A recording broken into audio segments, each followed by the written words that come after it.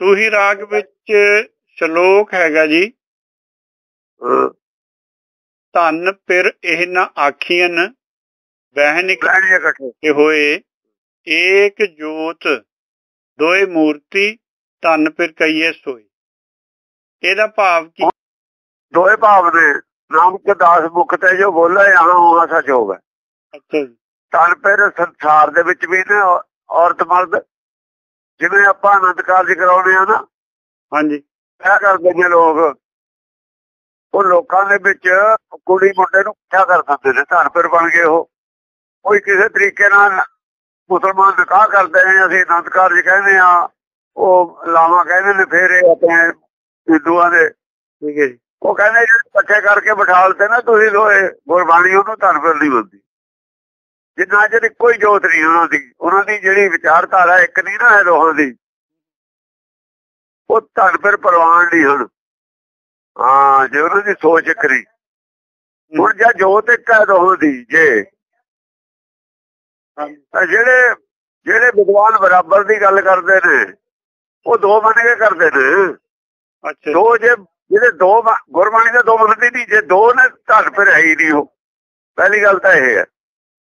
ਵਿਦਵਾਨ ਸੰਸਾਰੀ ਜੀਵਨ ਜੋ ਰਹੇ ਹੁੰਦੇ ਨੇ ਗੁਰਬਾਣੀ ਗੁਰਮੁਖੀ ਜੀਵਨ ਦੀ ਗੱਲ ਕਰਦੀ ਹੈ।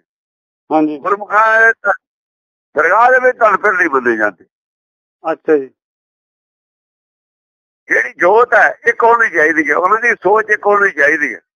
ਵਿਚਾਰਧਾਰਾ ਇੱਕ ਹੋਣੀ ਚਾਹੀਦੀ ਹੈ? ਬੁੱਧੀ ਇੱਕੋ ਲੈਵਲ ਦੀ ਚਾਹੀਦੀ ਹੈ। ਵੱਖਰੀ ਵੱਖਰੀ ਸੋਚ ਇਹ ਨਹੀਂ ਜਦ ਹੈਗੀ। ਜਿੱਥੇ ਸੋਚ ਵੱਖਰੀ ਵੱਖਰੀ ਹੈ ਟਕਰਾਅ ਉੱਥੇ ਹੈ ਵਿਚਾਰਾਂ ਦਾ ਟਕਰਾਅ ਉੱਥੇ ਹੈ ਜਾਂ ਸੋਚ ਵੱਖਰੀ ਹੈ। ਜੇ ਸੋਚ ਇੱਕ ਟਕਰਾਅ ਹੀ ਨਹੀਂ ਹੈ। ਠੀਕ ਹੈ ਜੀ। ਜਿਵੇਂ ਜਿਹੜੇ ਮਨਮੁਖ ਨੇ ਉਹਨਾਂ ਦੀ ਸੋਚ ਆਪਣੀ ਆਪਣੀ ਉਹ ਕਹਿੰਦੇ ਨੇ ਬਰਾਬਰ ਦੇ ਹੱਕ ਚਾਹੀਦੇ ਨੇ। ਔਰਤ ਨੂੰ ਬਰਾਬਰ ਬਰਾਬਰ ਜਦ ਹੈ ਉਹ ਜੋ ਇੱਕ ਬਰਾਬਰ ਔਰ ਬੇਬਰਾਬਰ ਦਾ ਸਵਾਲ ਕੱਲ ਪੈਦਾ ਹੁੰਦਾ। ਸਵਾਲ ਤਾਂ ਬਰਾਬਰ ਬੇਬਰਾਬਰ ਦਾ ਪੈਦਾ ਹੋਵੇ। ਜੇ ਦੋ ਬੁੱਲੇ ਗੁਰਬਾਣੀ ਦਾ ਦੋ ਬੁੱਲਦੀ ਹੋਣੀ ਇਹ ਦੋ ਨੇ ਤਾਂ ਫਿਰ ਹੈ ਹੀ ਨਹੀਂ। ਉਧਰ ਰਹਿ ਗਿਆ ਨਿਰਾਕਾਰੀ ਦੁਨੀਆ ਦੇ ਵਿੱਚ। ਉਹ ਕਹਿੰਦੇ ਨੇ ਬਈ ਜਿਸ ਵਕਤ ਅਲਪ ਸੁਖ ਸੰਸਾਰੀ ਸੁਖਾਂ ਨੂੰ ਛੱਡ ਕੇ ਪਰਮ ਸੁਖ ਵਾਲੇ ਜੀਵਨ ਵੱਲ ਨੂੰ ਵਧਦੀ ਆਤਮਾ ਅਲਪ ਸੁਖ ਛਾੜ ਪਰਮ ਸੁਖ ਪਾਵਾ ਇਹ ਤਰੀਆ ਉਹ ਕੰਤ ਕਹਾਵਾ। ਫਿਰ ਸ਼ਬਦ ਜਿਹੜਾ ਹੈਗਾ ਸ਼ਬਦ ਗੁਰੂ ਉਹਦੀ ਜੋਤ ਵਿੱਚ ਉਹਦੀ ਜੋਤ ਵਿੱਚ ਜਿਹੜਾ ਬ੍ਰਹਮ ਦੀ ਜੋਤ ਲੀਨ ਹੋ ਜਾਂਦੀ ਹੈ। ਸ਼ਬਦ ਦੇ ਵਿੱਚ ਲੀਨ ਹੁੰਦੀ ਹੈ। ਸੁਰ ਤੇ ਸ਼ਬਦ ਦੇ ਵਿੱਚ ਲੀਨ ਹੁੰਦੀ ਹੈ ਤਾਂ ਜੋਤ ਇੱਕੋ ਹੁੰਦੀ ਹੈ ਦੋਹਾਂ ਦੀ। ਸੋਚ ਇੱਕੋ ਹੁੰਦੀ ਹੈ। ਕਿਉਂਕਿ ਹੁਕਮ ਤਾਂ ਪਰਮੇਸ਼ਰ ਦੇ ਵਿੱਚ ਆ ਗਏ ਜੋਤ ਇੱਕੋ ਹੋ ਗਈ ਵਿਚਾਰ ਵਿਚਾਰ ਆਪਣਾ ਤਾਂ ਕੋਈ ਰਿਹਾ ਨਾ ਆਪਣੀ ਮਰਜ਼ੀ ਨਾਲ ਹੀ ਜਦ ਕੋਈ। ਜੇ ਮਰਜ਼ੀ ਤੇ ਔਰਤ ਦੀ ਆ ਰਾਜਨੀਤੀ ਦੋ ਅੱਡੋ ਅੱਡ ਨੇ ਵੱਖਰੀਆਂ ਵੱਖਰੀਆਂ ਨੇ ਤਾਂ ਉਹ ਜੋਤ ਇੱਕ ਨਹੀਂ ਹੋ ਸਕਦੀ। ਠੀਕ ਹੈ ਜੀ। ਇਹ ਆਪਣੀ ਮਰਜ਼ੀ ਕਾਇਮ ਹੈ ਪਰਮੇਸ਼ਰ ਦੀ ਮਰਜ਼ੀ ਦੇ ਵਿੱਚ ਨਹੀਂ ਚੱਲ ਸਕਦਾ।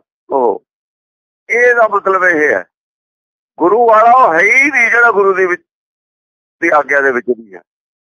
ਸਿੱਖ ਹੈ ਹੀ ਨਹੀਂ ਜੇ ਗੁਰਮਤਿ ਨੂੰ ਨਹੀਂ ਮੰਨਦਾ ਉਹ। ਮੰਨਣ ਨਾਲ ਸਿੱਖ ਹੈ ਮੰਨਣ ਨਾਲ ਸਿੱਖ ਹੈ, ਮੱਥਾ ਟੇਕਣ ਨਾਲ ਸਿੱਖਦੀ